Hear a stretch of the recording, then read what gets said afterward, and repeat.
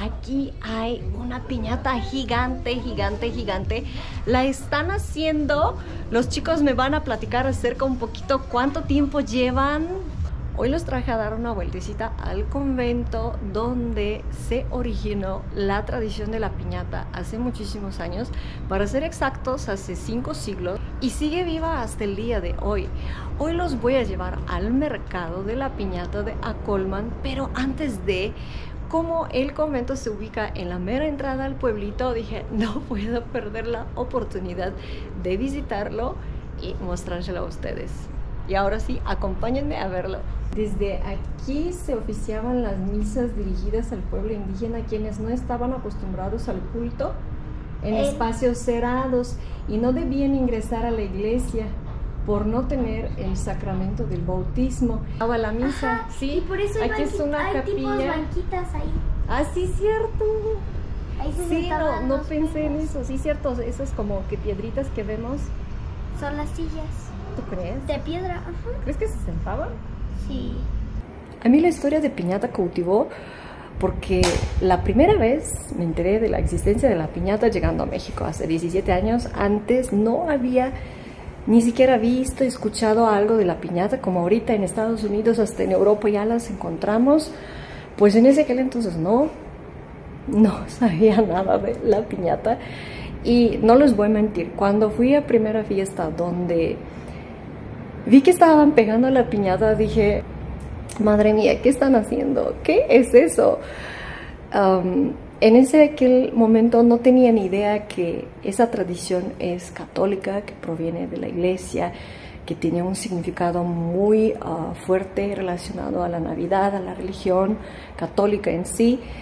Eh, ya con más tiempo estuve descubriendo eh, cómo nació la piñata y cuál. Cuando los españoles conquistaron México, lo que ellos necesitaron es integrar la religión católica en las tierras indígenas.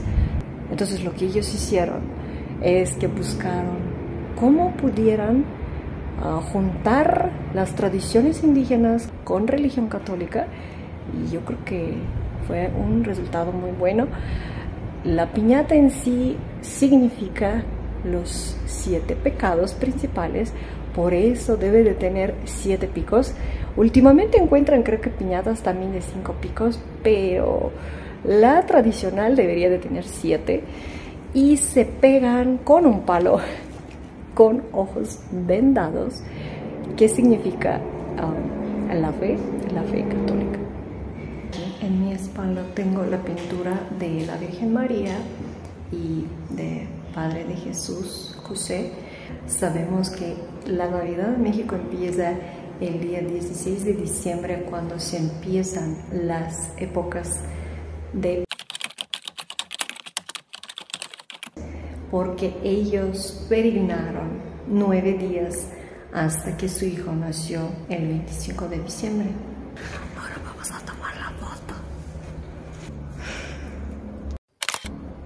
La verdad, si alguien quiere aprender un poquito más de la historia de la piñata, de toda la historia de conquista en general, venir al convento a Colman yo creo que es el lugar indicado porque aquí respira toda la historia de la conquista, cómo sucedió, cómo eh, los católicos que llegaron aquí en el siglo XVI, cómo lo lograron acercarse al pueblo indígena y volverlos devotos católicos. Se siente el lugar muy auténtico, muy poco cambiado, la verdad. Caminas por las celdas y hubo una parte donde caminamos y eran pasillos pues oscuros y de repente de la nada sale Un muñeco. un muñeco.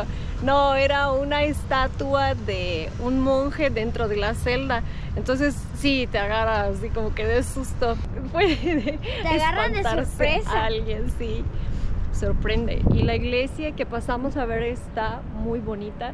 Me gustó mucho. Se siente muy alta, muy majestuosa. Muy, muy bonito eh, trabajo en piedra. Ahorita estoy apreciando por fuera todo lo que tiene. Bueno, como siempre, andamos equivocados.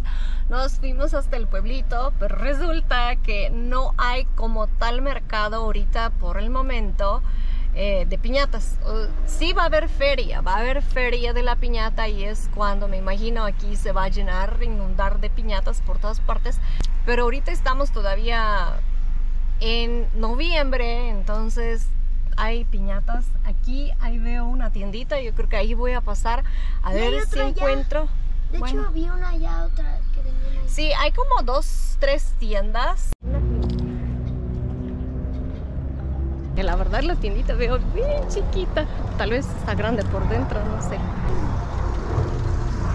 Y encontramos una tiendita justo al lado del convento, hermosísima. La verdad, amigos, todas las piñatas que encontré aquí parecen una pieza de arte. Vean qué colores. La grande me comentó que estaba en 400 y algo, ¿verdad? 420. 420. Las más pequeñas, estas que están sobre el suelo, estaban... Sí, esta creo que está de 70, ¿verdad? La chiquita. La chiquita de 70 y las que están en el suelo 350 o me equivoco? Sí. 350. Están bien bonitas, vean.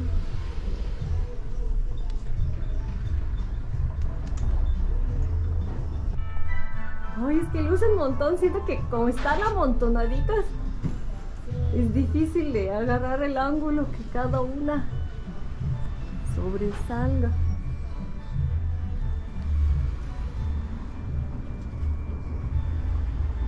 Y antes era con la olla de barro, miren. Pero pues había muchos accidentes porque Pero ahora ya nadie pide la cola de barro, o sí, alguien todavía. todavía hay gente que la pide, pero... ¿La tradicional? Pero es que hay muchos accidentes porque se rompe la olla de barro. Como nos comentó la chica, en el local de al lado, aquí hay una piñata gigante, gigante, gigante. La están haciendo. Los chicos me van a platicar acerca un poquito cuánto tiempo llevan y qué tan difícil es hacerla. Hola, hola. Hola, hola. ¿Cómo te llamas? Yo me llamo Alberto. Muy buenos días. Alberto, mucho gusto, muchas gracias. Les estaba preguntando como cuántos días llevan haciendo esa hermosura. Llevamos dos días trabajando, Dos días y ¿de qué tamaño es la piñata? aproximadamente de 3 metros. ¿Tres metros? Wow. ¿Y como cuántos paquetitos de papel ya llevan? ¿O, o cuentan por kilo? Más de unos 200 piezas de papel. ¿200 piezas? Más de 200. ¿Y como cuánto tiempo uno se tardaría si dice, ay, quiero hacer piñatas? ¿Como cuántos años tarda de aprender el oficio y ser un máster de piñata de verdad?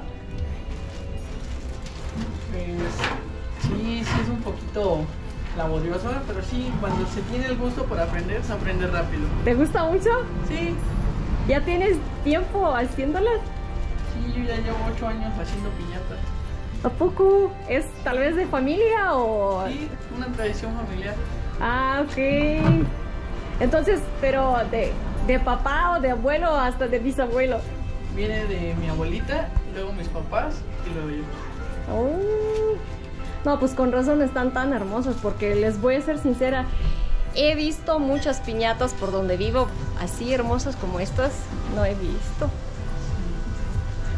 ¿Y como cuánto va a costar esa piñetita gigante? Esta piñata tiene el precio de 3600. 3600. Así es. No, pues sí, tantos días de trabajo.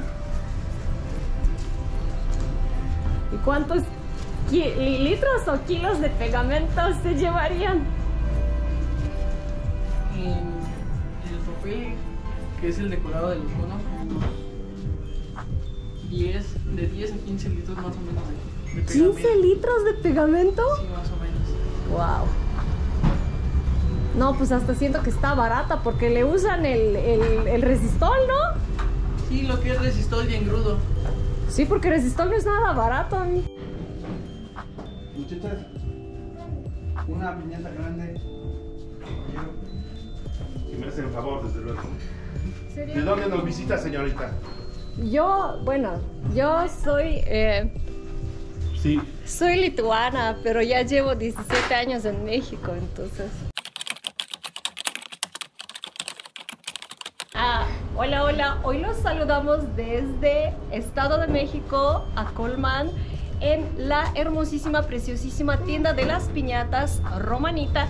Y aquí yo haciendo mi videíto encontré al señor Gregorio Muñoz Sánchez, servidor y amigo de aquí, originario y vecino de Acolman, Estado de México, una de la piñata de siete picos, en virtud de que la piñata es originaria de China, nos dicen que Marco Polo la llevó a Europa, estuvo en Europa y eh, después los eh, españoles nos las trajeron a este continente y aquí en el ex convento de San Agustín Acolman que tenemos aquí enfrente, los frailes agustinos como una manera didáctica de introducir la religión en nuestros pueblos originarios, pues eh, idearon la piñata de los siete picos que son los siete pecados capitales. Bienvenida a Colman y un saludo para Lituania. Pero Muchas además de eso, los invitamos que del 14 al 17 vamos a tener la Feria de la Piñata aquí en Acolman. Va a haber gastronomía, artesanías, villancicos, teatro del pueblo, algunos artistas que nos visitan que ya están en redes sociales. Y amigos, amigas, los invitamos a la Feria de la Piñata en Acolman del 14 al 17 de diciembre. Así que no olviden y vengan. La verdad, yo también es la primera vez que visité el convento y está precioso. Es un convento agustino siglo XVI, iniciado su construcción en 1539 y terminado en 1560, estilo plateresco. Sí. La verdad, la historia de la piñata está aquí, así que no se pierda y visítelos. Aquí están todas las compras que llevamos. Bueno, esas sí son piñatitas, que son bien chiquititas. A mí me gustó un buen. Esas pienso colgar afuera de la ven muy casa. tiernas. ¿verdad? Y tiene otro, otra decoración como de puntitos. Se ven bien bonitas. Amigos, ayer se me acabó la pila, pero no de la cámara, la mía. eh, la verdad sí, llegamos a comer, nos cansamos, eran hacer pendientes que faltaban, entonces ya no pude despedirme de ustedes, entonces hoy estoy terminando ese video. Para mí Navidad es una de las épocas más hermosas de todo el año. Eh, yo creo que es el tiempo para recordar y revivir valores que tal vez a veces se nos olvidan. Ah, valores como amor, perdón, compartir, la empatía, eh, entre muchos más. Y amo México porque aquí se vive eh, ese sentimiento a mil. No es que nada más en la noche buena o al día siguiente, al día de Navidad, todo el diciembre se vive un ambiente increíble, un ambiente de Navidad mexicana. Así que si usted tiene oportunidad, me encantaría que visiten México en esas temporadas y lo vivan con su corazón. Amigos, aquí me voy a despedir. Les agradezco mucho por haberme acompañado. No olviden comentar eh, si les gustaría ir a la feria, si ustedes planean ir o ya la han visitado en los años pasados. Saben que los quiero mucho de todo mi corazón y espero verlos muy muy pronto en el siguiente video. Chao.